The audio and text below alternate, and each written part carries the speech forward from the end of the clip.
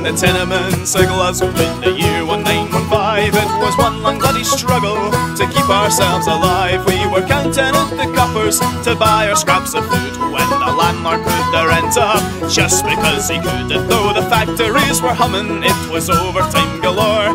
The wages they were driven down to subsidise the war. Out came Mrs. Barbour Frey, our wee but single, and she said, I'll organise the lassies if I can't get them in. She's down for Govan in your big Partick. This year nears me bridge you with and dance beginning park. The sun is broad, the sun is Catholic. Oh, we're Mrs. Barbour's army and we're here to do the work. Mrs. Barbour made a poster saying no pay higher rent. And then she chapped on every door of every government tenement She said, put this in the windy when you hear me bang the drum. I'll go out and chase the factor all the way to Kingdom Come. And when the poor wee lad came round He was battered black and blue By a regiment in pennies that Kent just what to do. And Mrs. Barbour organised the gather know the clans And they burst out of the steamy backed with pots and frying pans. They'd have be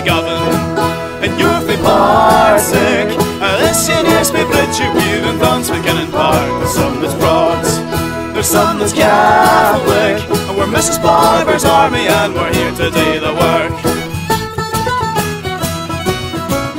Oh, and Mrs. Barbour's army spread from Glasgow like the plague. And then the maesters got the message But the message was the Vegas said Our men will fight the Kaiser, we'll stay home and fight the war. Against the greedy bastards who be grinding down the poor. And if you want to stop conscription, stop the war and profiteers.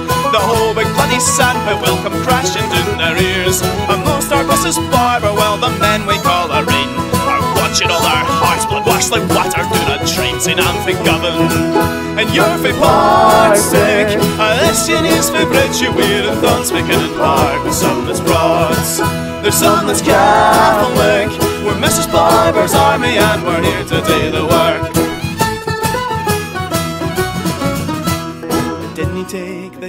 the government a line to realise If you crack down on the leaders then the rest will compromise. They arrested Mrs. Barbour and they stuffed her in the jail. But they made an awfully big mistake, they let her out on bail. She went up to all the factories on the Clyde and on the cart.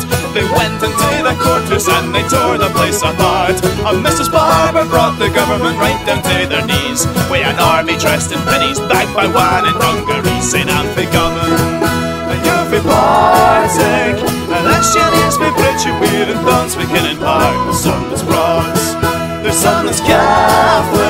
We're Mrs. Barbour's army and we're here to do the work Aye, we're Mrs. Barbour's army and we're here to win the war Yep. That was fine.